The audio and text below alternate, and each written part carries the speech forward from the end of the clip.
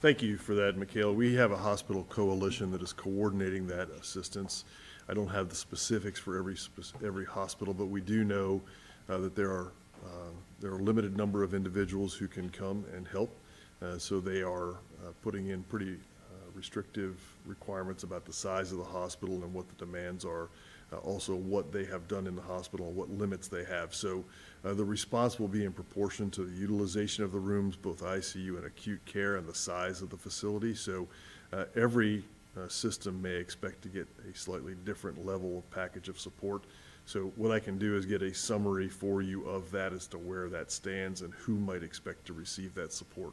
But that is an active dialogue today between our hospital coalition, which is all the hospital systems, and the folks in the city and the county that coordinate those requests, and the state of Tennessee. So I don't have a specific answer, but know that that is an active dialogue, and that is something that we are working on with the hospitals and the state, uh, even as we speak.